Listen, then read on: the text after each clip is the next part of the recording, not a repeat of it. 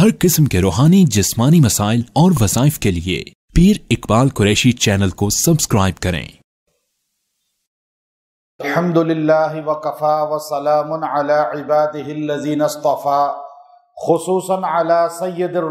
ख़ातमिल अंबिया, व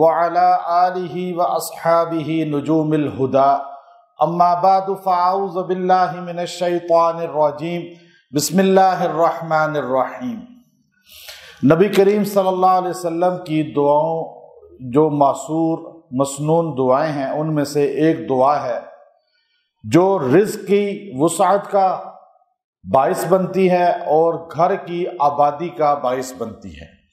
कि घर जो है, अगर एक इंसान का नहीं है ज़ाती तो अल्लाह उसको अता फरमाते हैं। और अगर घर है तो घर आबाद होता है। यानी उसमें से झगड़े, फसाद लड़ाई, झगड़े, ये चीज़ें ख़त्म होती हैं और इंसान के गुनाह भी माफ़ कर दिए जाते हैं। यानी दुआ इतनी मुख्तसर सी है और फ़ायदा उसका इतना ज़्यादा है कि इंसान को दुनिया में आज यही चीज़ चाहिए कि मेरे गुनाह माफ़ हो जाए।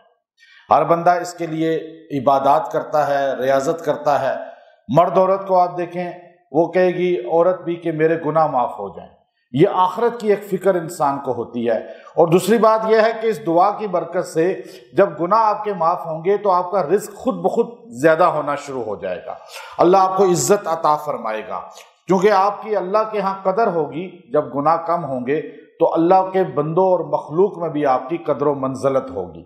फिर आप सल्लल्लाहु अलैहि वसल्लम की ये दुआ बड़ी पुरतासीर है कि आप देखिए कि एक इंसान ये चाहता है कि मेरा ज़ाती मकान हो जाए, घर हो जाए, लेकिन वो इंसान जो है इतनी हैसियत नहीं रखता या उसके खर्चे बहुत ज़्यादा हैं, अब वो घर नहीं बना सकता, लेकिन ये दुआ अपना मामूल बना ले तो इसकी बरकत से अल्लाह उसको ज़ाती मकान अता फरमा देगा।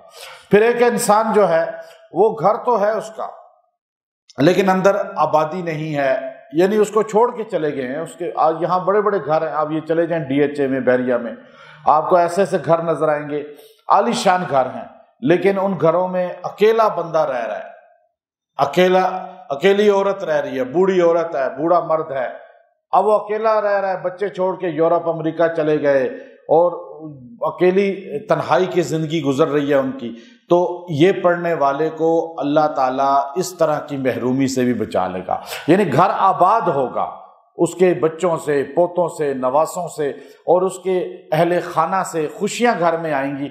घर में झगड़े, फसाद हैं, और एक दूसरे के साथ रहकर भी एक घर में बात नहीं करते, खाना गठे नहीं खाते तो ये घर भी तो खंडर बन चुका है। इस घर की आबादी भी इस दुआ की बरकत से हो जाएगी। हमारे नबी सल्लल्लाहु अलैहि वसल्लम ने जो दुआएँ हमें बताई हैं, आप अगर उन दुआओं पे गौर करें तो वो अल्फाज इतने पुरतासीर होते हैं कि उनकी गहराई इतनी ज़्यादा होती है कि वो आज के ज़माना और फिर क़यामत तक आने वाले ज़माने की अक्कासी करती है। एक एक टेंशन को परेशानी को इंसान के दूर करने का ज़रिया बनती है। अब आप जो है, रिस्क जाते हैं। आपका कारोबार डाउन हो रहा है, आपके पास रिस्क नहीं है, नौकरी नहीं है, आप जो है, बदहाल हैं, परेशान हैं तो अब आप इस दुआ को अपना वजीफ़ा बना लें। अब इतने अल्फाज इसके जामे हैं कि अल्लाह ताला इसकी बरकत से थोड़े अरसे में आपको जो है गनी कर देंगे। आपको नौकरी चाहिए, अल्लाह वो दे देगा। अगर फाकों पे हैं, अल्लाह ताला फराखी अता फरमाएगा। अल्फाज, ये हदीस के किताब निसाई शरीफ है। सुनन निसाई के अंदर ये अल्फाज आए हैं और ये दुआ आई है। और आप सल्लल्लाहु अलैहि वसल्लम का मामूल था कि आप जो है और बाद में अल्लाह के जितने नेक अलिया गुजरे हैं, उन्होंने इसको अपना मामूल रखा। सहाबा कराम रजवान तजमाइन ने भी और अलिया अल्लाह ने भी। तो अब ये दुआ इतनी मुख्तसर छोटी सी मैं आपको बता रहा हूँ। अब हम जो है, उन चीज़ों से दूर रहते हैं जो मुस्तहब चीज़ें हैं, जो सरकार दो आलम अलैहि वसल्लम की ज़बान नबूत से सादिर हुई हुई हैं। और हम इधर उधर के अल्फाज पढ़ना शुरू कर देते हैं। मुझे कहता है, जी, दुआ सैफ़ी कैसी है? दरुद ताज कैसा है? नाद अली कैसी है? मैं तो इनको जानता ही नहीं। क्योंकि मुझे इनसे, इन चीज़ों का सबूत किसी किताब, हदीस की नहीं मिलता। कोई मुस्तनद किताब नहीं मिलती। अल्लाह के अलिया की मुस्तनद ज़बानों से जारी नहीं मिलते तो हम इनको नहीं पढ़ते। ऐसी चीज़ों से दूर रहना चाहिए। बल्कि आप वो चीज़ें पढ़ें। मैं आपको बता रहा हूँ, किताब का नाम क्या है? सुनन। निसाई। हदीस की किताब का भी नाम याद कर लिया करें। निसाई शरीफ के अंदर यह हदीस है, और स्याह सित्ता की कुतुब में से है या नहीं? सुनन निसाई।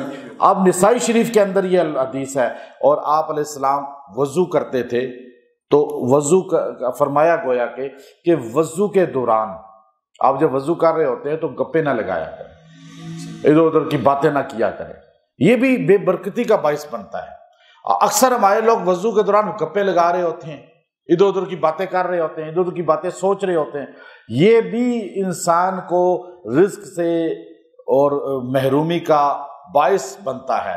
अब आप देखिए कि जो इंसान वज़ू करे तो वज़ू के दौरान ये दुआ पढ़े।